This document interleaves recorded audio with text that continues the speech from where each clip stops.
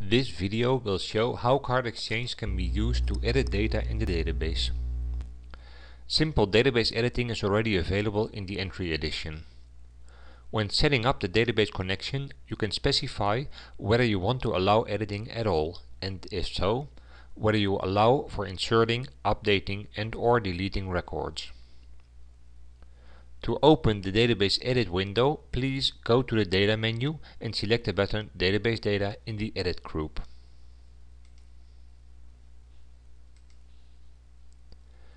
The Database Edit window shows up at the bottom, listing the available fields in the database. CardExchange will remember whether you want to show the window for a particular card or not. If you accidentally close the window, you can always reopen it in the Data menu. We can now use the Database Edit window to add a new record. We are not allowed to type the ID field, as the new ID value will be generated automatically. We configured it like that in the Database Definition wizard. If you don't want the ID values to be auto-generated, that is also possible.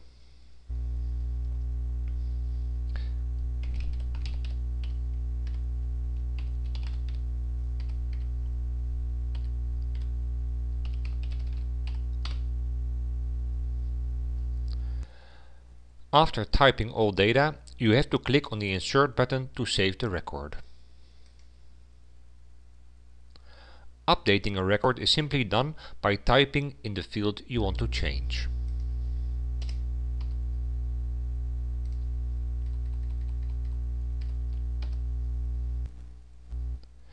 The Update button gets enabled automatically and when you click it, the changes are saved to the database.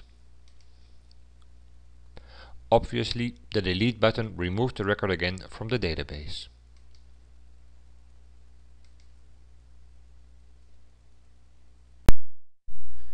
If you are running the premium edition or higher, it is possible to configure additional options for the database edit window.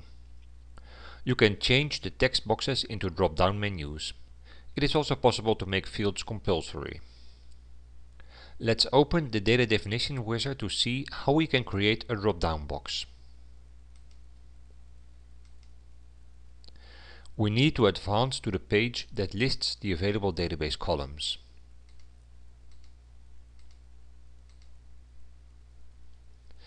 To create a drop-down box for a job title, we select the corresponding column name and select drop-down menu with fixed values.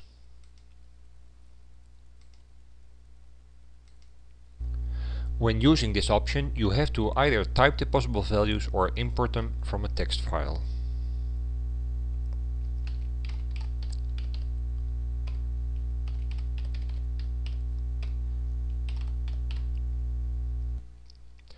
It is also possible that you have a table in your database that lists the possible values for the drop-down box. In that case, select the option drop-down menu with Lookup Table and specify the table name and the database column.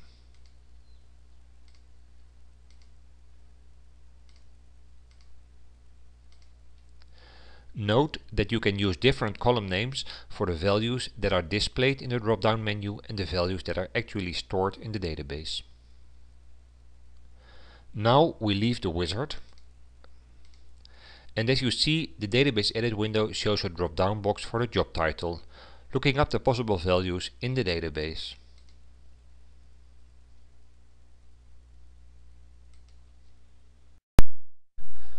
Another advanced option that is available in the Premium edition is the possibility to define fields as required. Let's go back to the columns page in the data definition wizard and select one of the columns.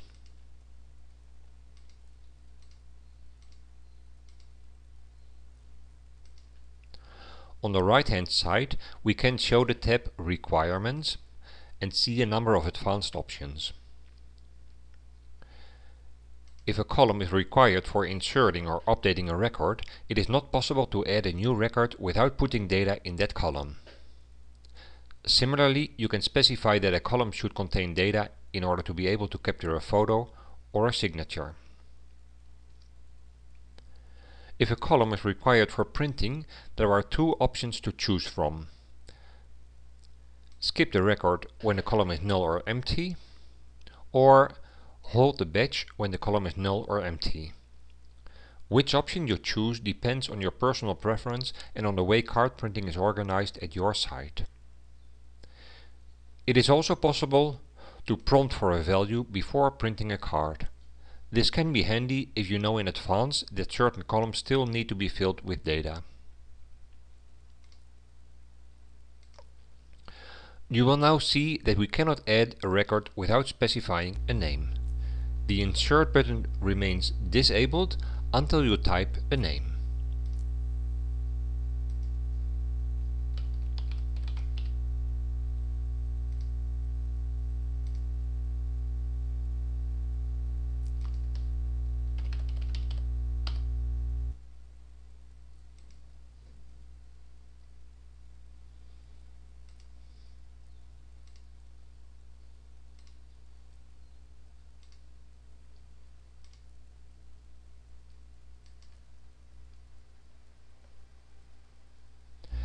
When we print a card, it now prompts for the name value, exactly as we configured in the database definition wizard.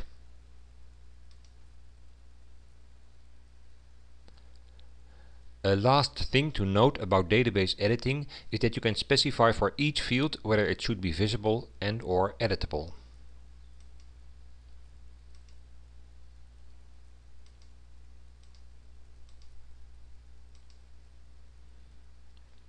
We can, for example, make the surname field visible but not editable and make the name field not visible altogether.